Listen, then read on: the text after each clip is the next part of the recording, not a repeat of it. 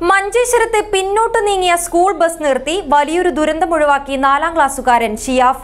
വിദ്യാർത്ഥികളിൽ ഒരാൾ കാണിച്ച കുസൃതിയെ തുടർന്നാണ് നിർത്തിയിട്ട ബസ് പിന്നോട്ട് നീങ്ങിയത്. ഷിയാഫ് ധീരമായി ഇടപെട്ട് ബസ് നിർത്തുകയും ഇരുപത്തഞ്ചോളം വിദ്യാർത്ഥികളുടെ രക്ഷകനാകുകയുമായിരുന്നു. Shri Shankaracharya computer centre Gulf bazaar near new bus stand Kasaragod.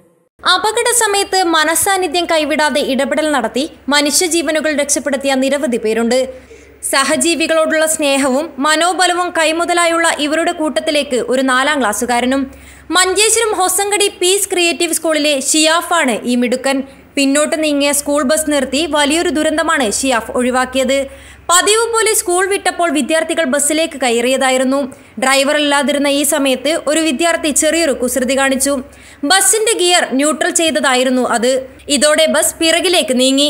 ഇത് ശ്രദ്ധയിൽപ്പെട്ട ഷിയാഫ് ഓടിയെത്തുകയും ടയറിന് നേരെ കല്ല് വെച്ച് ബസ് നിർത്തുകയുമായിരുന്നു. മറ്റ് വിദ്യാർത്ഥികൾ എന്ത് ചെയ്യണമെന്നറിയാതെ നിൽക്കുമ്പോഴായിരുന്നു നാലാം ക്ലാസ്സുകാരന്റെ ഈ ധീരമായ ഇടപെടൽ. ഇരുപത്തഞ്ചോളം വിദ്യാർത്ഥികളുടെ ജീവൻ രക്ഷിച്ച ഷിയാഫിന്റെ ധീരതയെ സ്കൂൾ മാനേജ്മെന്റ് അഭിനന്ദിച്ചു.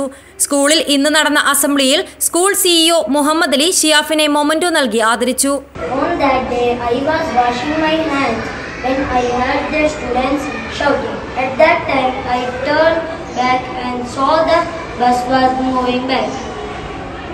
I ran towards the bus and I saw two students were trying to stop the van from back side. I was tensed and I took a big stone and kept it under the tire of the van. And the van stopped. I am very happy because all my friends are saved from the accident. Abdul Rahman Udyavar news bureau Manjeshwaram